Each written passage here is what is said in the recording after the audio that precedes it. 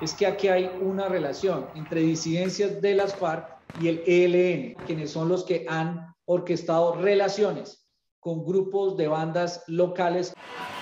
Estas fueron las primeras conclusiones de las investigaciones que hoy presentó ante la comunidad internacional el gobierno colombiano pero las investigaciones más profundas se requieren en el largo plazo por la complejidad del tema de la violencia en Colombia.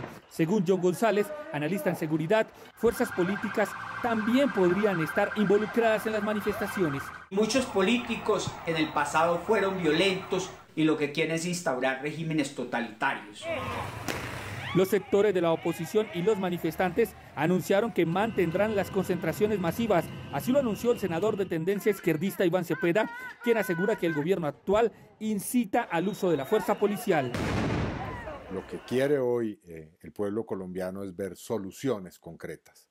Y a cambio de ello está recibiendo pues eh, toda clase de ataques, eh, métodos brutales para reprimir pero el ministro del Interior, Diego Palacio, aseguró que están garantizando la seguridad de los colombianos durante las convocatorias masivas a las calles. Uh, Hemos tenido 517 marchas. La policía solo está ahí para garantizar los ejercicios democráticos y libertades civiles.